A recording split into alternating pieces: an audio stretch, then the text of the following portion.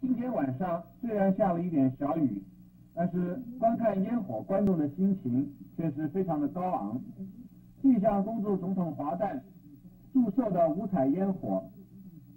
包括高空、低空、地面、架子、水上烟火和高空火箭烟火跟低空小型火箭烟火等，内容一共有：万众一心，锦绣大地，梅开五福，百花献瑞。银河瑞星光辉灿烂吉星高照和渤海腾欢等十六个项目全部释放的时间是五十分钟。台北地区的市民都大饱眼福的前往去参观这个烟火。